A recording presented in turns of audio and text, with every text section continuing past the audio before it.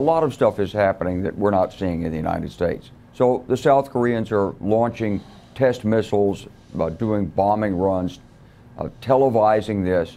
The center of gravity of this is really the population in South Korea. So uh, South Korea's response and their uh, strong face to the north is very important. That's what really is uh, the center of gravity, and that's the uh, that that's really the target for Kim's efforts.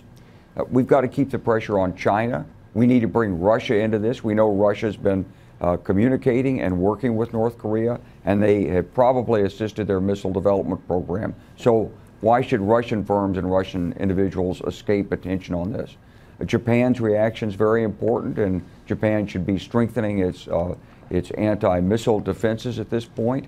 Uh, and we have to consider what we can do in the non-lethal category as well.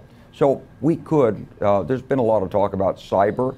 Maybe that's already been done. We don't know how much has been done, and frankly, uh, we don't want publicly to know. Uh, we know we can shut down a lot of the North Korean communications. We can shut down electric power. We can shut down their uh, early warning air defense networks. We can do a lot of these things but we don't necessarily want to do them on a routine basis. We don't want to disclose all of our capabilities to the North. So uh, behind the scenes, we're sort of looking at how we ratchet up a response.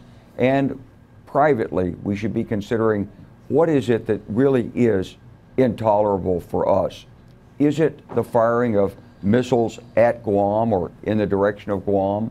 And if so, are we going to permit that to happen? So uh, we're in a real cat and mouse game in terms of how we look at North Korea. How much warning do we have of their test launches? How much do we know about the direction and the type of missile that's going to be test fired? And what are our soft kill capabilities to be able to disrupt such a launch on command, on demand, uh, if we have to do so?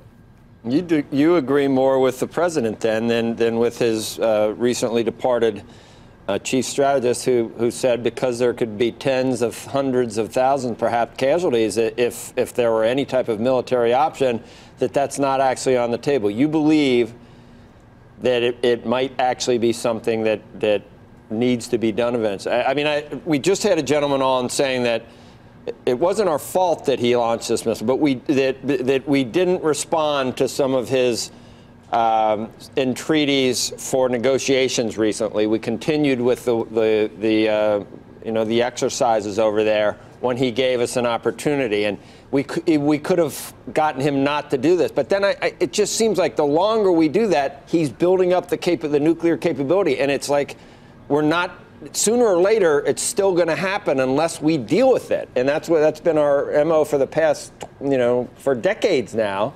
And you seem to think maybe we need to deal with it before we deal with something absolutely horrific in Guam or even on the mainland.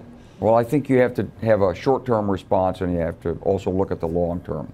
So, I, I, I think that you've got to be able to work behind the scenes. We should be trying to talk to North Korea.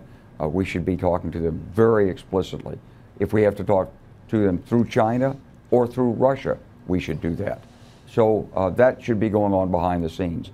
Got to work with the allies, but you also have to be prepared at some point. Uh, if the North persists in ratcheting this up, you can't sit back and do nothing.